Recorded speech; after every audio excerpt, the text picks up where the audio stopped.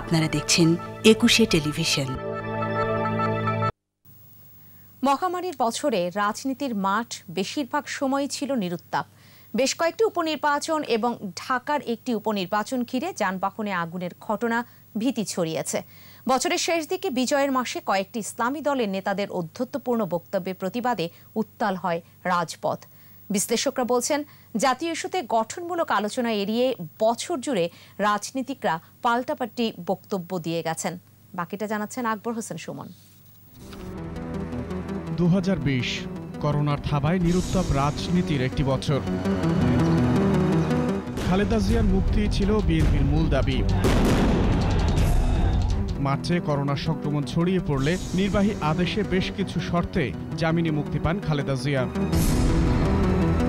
শুদ্ধি অভিযানে বিতর্কিত ব্যক্তিদের অপরাধ সামনে আসে। দলের ভেতর শুদ্ধি অভিযান চালায় আওয়ামী লীগ। সহযোগী সংগঠনগুলোর পূর্ণাঙ্গ কমিটি ঘোষণা করা হয়েছে বহু যাচাই বাছাইয়ে। পরীক্ষিত নেতা কর্মীরা আছেন কিনা সেটা দেখব।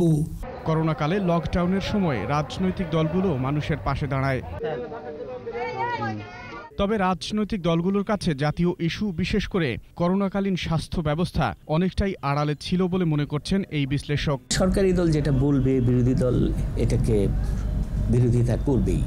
কিন্তু পাবলিক হেলথের যে সমস্যাটা, এই সমস্যাটা নিয়ে রাজনৈতিক কোনো কনস্ট্রাকটিভ বা গঠনমূলক বিতর্ক আমি করিনি। বছর জুড়ে বিভিন্ন ইস্যুতে ওবায়দুল কাদের ও মির্জা ফখরুল ইসলাম আলমগীর পাল্টাপাল্টি বক্তব্য দিয়ে গেছেন। বিএনপি তাদের চিরাচল সন্ত্রাসী প্রথা পরিহার করতে পারে।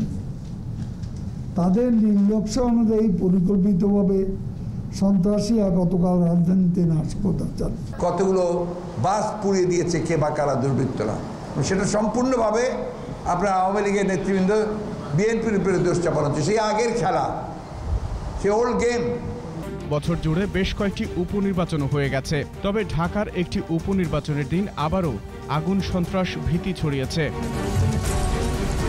আমরা ধারণা করেছিলাম যে বাংলাদেশের রাজনীতিতে বোধহয় শেষ হয়ে গেল। আগুন সন্ত্রাস বাস পোড়ানো হ্যাঁ? আমার মনে হয় যে এটা বোধহয় আমরা আর আর দেখতে পাবো না।